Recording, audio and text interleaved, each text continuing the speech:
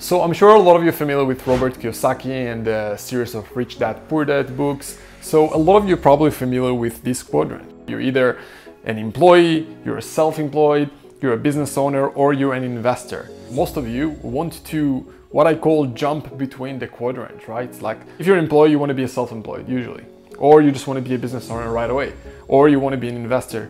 Today I'm going to share with you some of those thoughts on how you can go from where you're at right now in a specific quadrant. I'm going to share with you my thoughts and how it's related to doing deals to acquisitions and how you can what I call jump between quadrants so you see literally how at least my life transformed when I understood that there's a way for me to work throughout that quadrant. It's not one way thing. It's not like you have to go from here to here to here. There's a way to jump between those quadrants and that's what I'm going to share with you today. Now, I don't care where you're at in your journey. Now, most of the people that I talk to, there's a lot of people who come to me, they want to buy a business, they want to be a business owner, grow by acquisitions, their existing business. All of the people that I talk to, they want one of those three things. They want more income, better lifestyle. And when they have those two things, that's when they start to think about a little bit more about their, I guess, internal world. That's where words like impact come into play. But usually, we all have kind of like call it the physical world, the material world goals. But in the end of the day, when you have few cars or when you have a nice home like there's only so many chairs you can sit at at the same time right? So that's where you really start to think about impact about giving back to your community giving back to you know by, by hiring more people by creating jobs and then eventually yeah supporting your family or anyone that you want in the world. And obviously everyone at whatever scale they can. But i've never met anyone who want to be successful at something and his internal real desires not to eventually give back. And I really like to see that, but to get there, usually we start we need to deal with this, right? So we got to deal with the income and lifestyle goals first. And when we have the right income and we don't have to work, we work because we want, that's where we really start to think, okay, I'm good. How can I support? How can I give back? So let's go through that a little bit. Now, usually at this point, the way that I see that is that you're not there yet just because a lot of you stuck in one of those quadrants and I'll dive into it, but you don't know to do what we call a, a quadrant jump or a quantum jump or whatever you want to call it, right? So if you are an employee, if you work somewhere, for some of you maybe think that's the way to have security and you value security and you value the fact that you have a place where you can go every day and you think that, you know what, I'm probably be able to do that forever and no worries. But unfortunately, when we stuck to something and we, I guess, get familiar with comfort to something, life just comes and slap us in the face. And this is what happens, unfortunately, to a lot of people. They think that security, having a job, I mean, they think that that's the way to live their dreams or have financial freedom or have their lifestyle that they want, but they found out that a lot of people that talk to me, they work in a job that they don't like, maybe having few weeks every year of vacation to kind of like let go and let loose, and they think that that's the only way. Some of you love your jobs and that's something else. If you do that for the sake of doing it, that's a different way. But a lot of people that I know, they're in a job just to pay their income and they have those dreams but it's very difficult for them to get out of the i guess the rat race right? The day to day the overwhelm uh, process of being in a job. And they hate their job sucks and they want to do something else right? And i'm going to share with you kind of like what's the next step right? So after that a lot of people are kind of like sometimes becoming self-employed. It means that maybe you're becoming a freelancer, you're starting a consulting business, maybe you're starting a different business online nowadays. We can, I know a lot of people start, try to start e-commerce businesses or Amazon or consulting businesses or affiliate marketing or creating agencies or there's so many business models that's kind of like in the bootstrapped place, right? A lot of people also start and, and try to start businesses in the VC world. They go out there to the venture capital space, they try to raise capital, and many times they don't even have a profitable model. Literally follow what I, it's almost like a Ponzi scheme in that um, VC space. I have a lot of colleagues in that space. It feels like they invest in companies just for the sake of investing in the next round. And a lot of entrepreneurs are playing in that game. And yeah, one out of like thousand companies at best, at best really become like a household companies like Uber. Uh, but unfortunately, I don't know if you know, but to become an Uber, like you have better chances of becoming like the next LeBron James. And it's super, super difficult. Like 99% of startups fail. So anyway, that's kind of like a little bit about the self-employed and kind of like just in, in general, starting from scratch businesses, right? So a lot of people I know also have jobs inside their business. So it's not like they have team and that's what we're going to talk about in the business quadrant, in the B quadrant. It's different. It's not there yet. So it's basically you are a one-man show many times, or even if you have few employees, you're doing a job of like 10 people. So you basically have a job inside the business. It's not like if you're if you're gonna go for a year, there's still gonna be any business. It's like if you're gone, there's no business. That's what I see a lot of times, unfortunately. So that's a little bit about that quadrant, right? Now, next quadrant is people go out there and have a legit business with more employees. Usually this stage you have systems, you have a team, you have some culture, you have processes, there's accountability in the team, and that's a point where you can get to where there's a business even if you're not there in the day to day, right? That's where a lot of people want to get into, but when they start something from scratch, they end up self-employed, kind of like running the day-to-day of their business, having a job inside their business that many times don't even pay them as much as a job would. Because usually, especially people with a lot of motivation, they're self-employed, they're barely taking any salary, the business is barely profitable, especially in the first few years and they're ending up making less money, working in something that they don't really enjoy. I mean, not really creating real wealth for themselves. So really ask yourself like, where do you see yourself here? And why you can't jump from each of those stages. Like many times it's super difficult to jump from the employee stage to the self-employed. Uh, many times just because of mindset, lack of self-control and discipline and and simple things like work ethic. Um, you know, I'm not here to judge, I'm just here to share with you what I see many times. A lot of people here are playing the victim mode and they're thinking that um, the government will provide or um, the, your boss will provide and make you wealthy. They're not taking full responsibility on their own life yet. Self-employed people are people who kind of like getting out of that, that stuckiness and they have a lot of motivation, but unfortunately, many people don't understand the stats. Like when you start a business from scratch, unfortunately, most people will fail. Those are just the stats out there because it's not easy to start a business from scratch, period, right? Like so obviously some of them make it and then they have a business with a lot of employees with, um, like I said, systems, KPIs and all those things. Then some people eventually graduate and become investors, right? Like when you become an investor, we're talking about having capital and then thinking about things like asset allocation, thinking about diversification or maybe even concentration. I believe that the best way to build wealth is in concentration, but the best way to preserve wealth is in diversification, at least the right way. And obviously there's few ways to do it as well. Like you see people out there like Warren Buffett is investing in different sectors, but then you see someone like uh, Jeff Bezos who initially started to build his wealth in concentration, right? So he had a lot of businesses only inside Amazon now it's interesting to see. It's all it's almost like he's diversifying into other stuff. Like now he's you want to go to space, and that's part of his diversification process. And then obviously in the investor quadrant, that's when you think about building real wealth and almost building like an empire. If you want to build like a large business that can grow and buy more companies and grow by acquisitions in some kind of a roll up.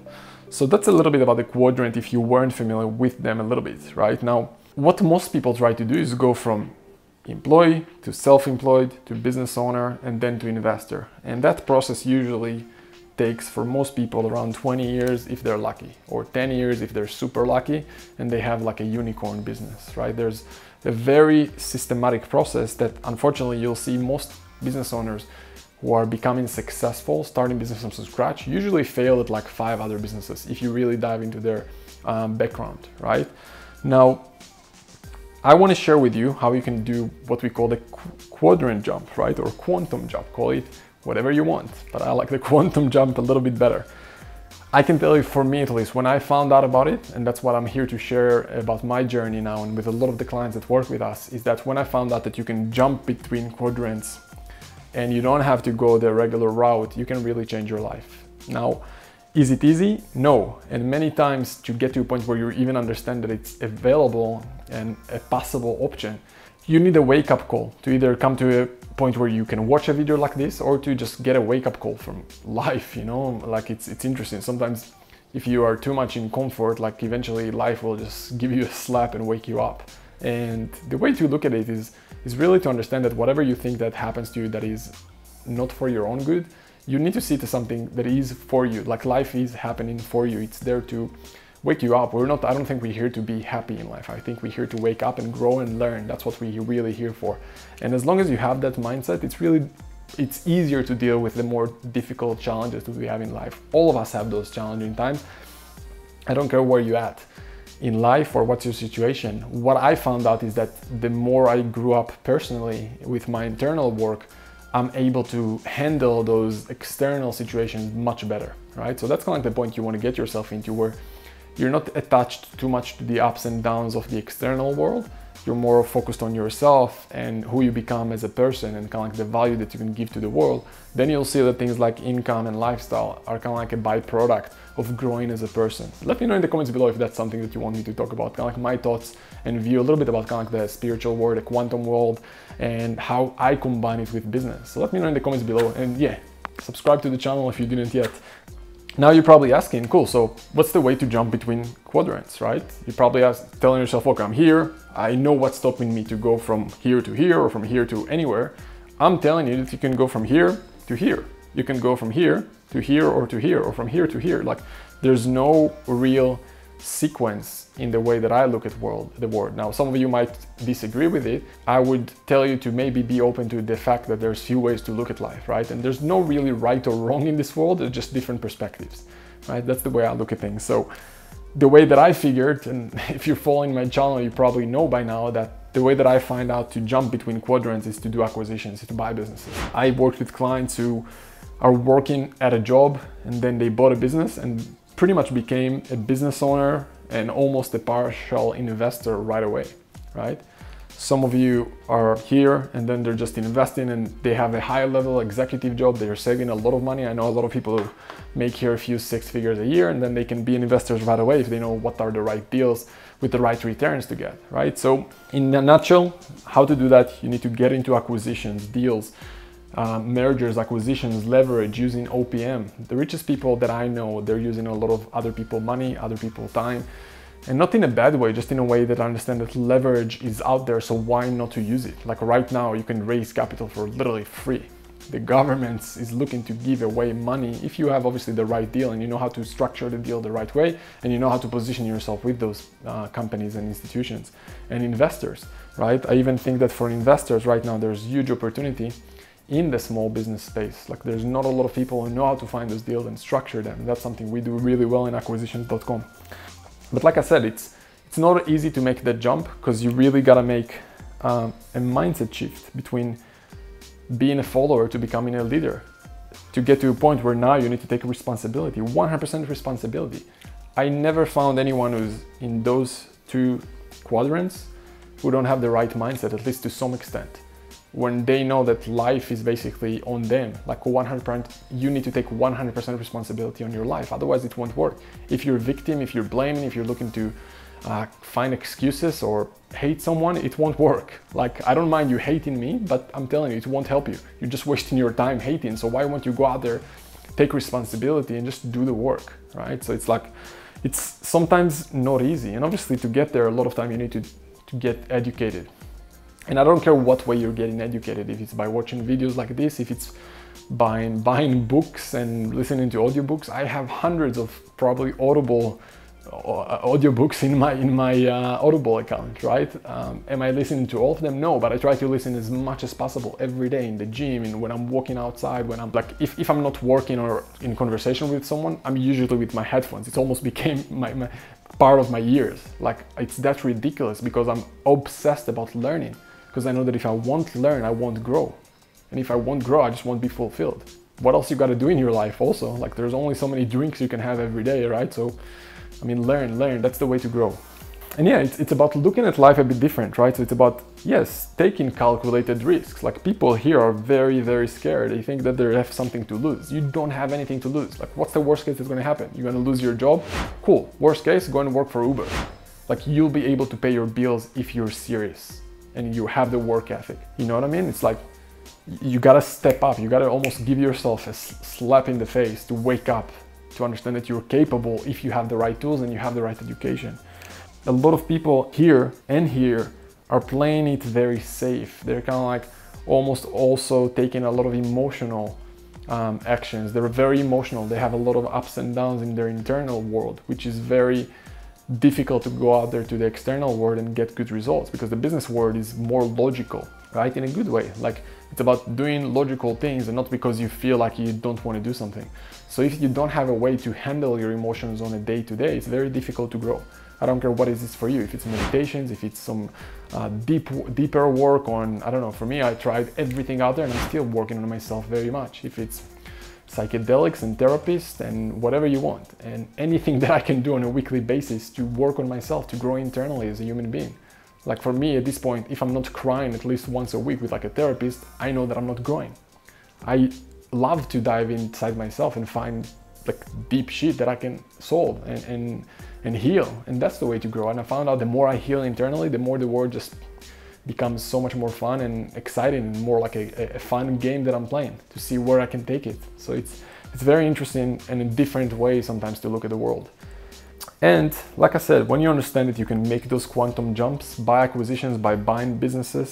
Because here, you don't, like I said, most of those people here fail. Why won't you go out there and just buy a business? Buy a business, use leverage raise capital from banks, raise capital from financial institutions, from investors. There's so many deal structures we work, work with my clients to get those things. So many things in place you can do on the balance sheet to reduce purchase price, to increase purchase price, to bring in investors or not, to include real estate in the deal or not, and all those different things that you can do can really help you close a deal. To talk to suppliers, to customers, to raise capital from those different people, to raise capital from employees. There's so many little nuances that people don't understand. The, the first gut sense that people have when I tell them, hey, go and buy a business, they think, okay, I guess I just need to go and raise everything from the bank. And if the banks tell me you need 20% down payment, I guess I'm screwed because I don't have the 20% down payment. Well, I can tell you that there's a different way to look at things, right? And obviously, if you have the capital, consider investing in those small businesses because you'll get better returns than anywhere right now. Plus, you're so much more in control right? At the same time, if you don't understand that there's a leverage that you can use and deal structures that you can use outside of just raising capital from banks, then you're missing a lot of opportunities. And literally every day that goes by and you're looking at a million dollar business that you can't buy, you just paid millions of dollars for the university of not knowing. That's how I look at it. Again, if you're buying the right business, income and lifestyle won't be a problem. And that's where you can really think about impact. And that's why I really want to help you get yourself into to get to a point where you have that income so you can work and impact others. I think the more we're everyone in the world getting to the point where money is not really an issue, then we will all want to impact and do good things. And that's how I think we can all grow and just, you know, as, as cheesy as it sounds, be a better place to live at and yeah that's that's the time where you can go build empires you know? That they say more money is coming to more money. Unfortunately that's true you're going to have so many more opportunities so many doors going to be open to you. Um, and just you as a, as a person you're going to grow so much because to get to a point where you get a business a multi-million multi-million dollar business that you own you need to grow as a person to get there. And that's where i want to get you into.